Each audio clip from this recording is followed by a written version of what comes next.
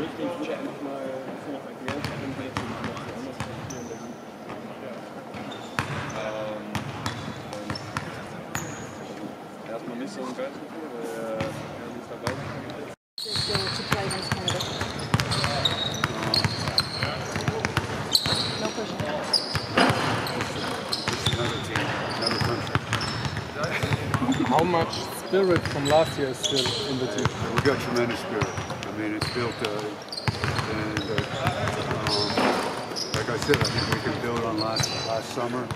Not only the quality of, of our game, but our spirit. And for me, that's the whole key. Is we have really good individual players, but first and foremost, we've got to become a team, and that becomes team spirit, team chemistry, um, team goals. So, um, I have a, I have a real good, real positive feeling about this group. And, was, and you know, Isaac Bonga was hurt last year. Uh, uh, Wagner was hurt. Both have, both have huge impacts on this team. Mo and Franz are going to play in their hometown tomorrow. What do you expect from them tonight?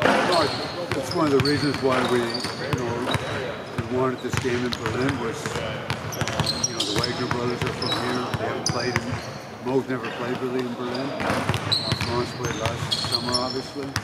You know, and uh, we have a lot of guys. Hughes Giffey's coming back.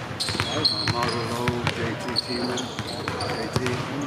Um, there's a lot of a lot of Berlin guys. So it was nice for us to have this camp here because they get a chance to go home, see their families, be around, be around their wives their kids. So that was the whole idea of coming to Berlin a little bit too. But, you know, we're not we're not somewhere for two weeks